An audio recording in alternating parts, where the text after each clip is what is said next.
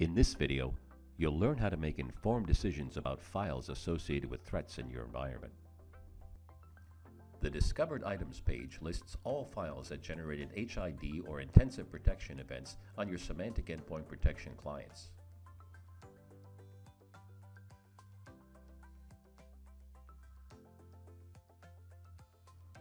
Key performance indicators provide a valuable breakdown of which files associated with threats are prevented and which warrant immediate attention.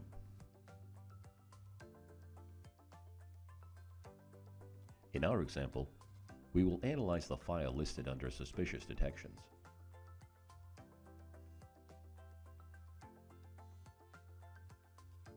The details page for a file lists important information such as file prevalence and reputation.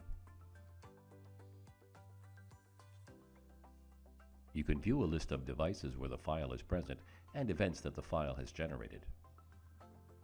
A key element in the analysis of a file is if the file is included in a blacklist or whitelist policy.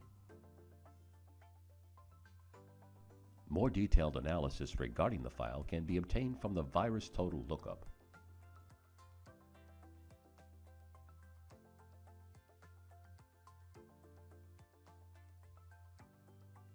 After completing analysis of the file from information in the Details page and VirusTotal lookup, the decision is made to blacklist the file.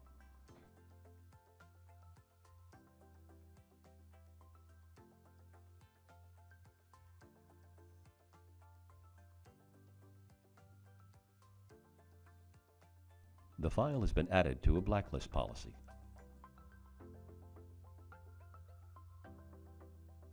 The key performance indicators have now been updated accordingly.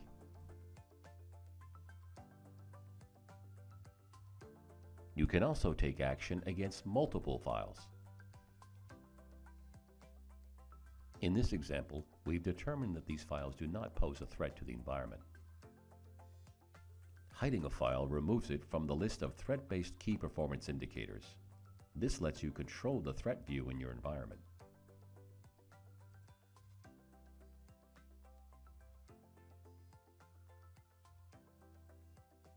Thank you for watching.